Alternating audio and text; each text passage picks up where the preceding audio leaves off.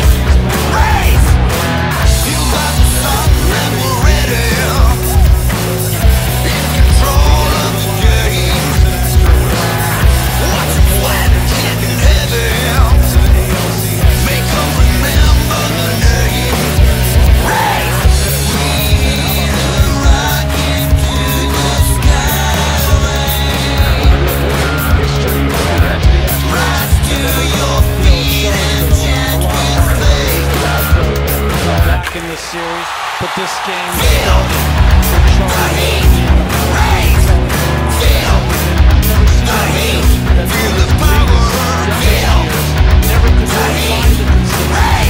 But here in his later years, he's never been better. And that big game moniker of big game pitcher, he wears it and wears it proudly.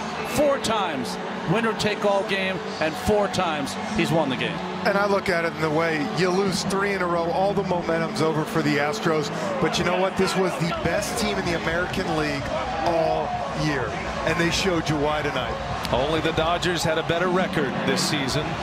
The Rays won 40 games in the regular season, took down the Blue Jays in two in the wild card series, took down the Yankees in five in the division series, and they take down the Astros.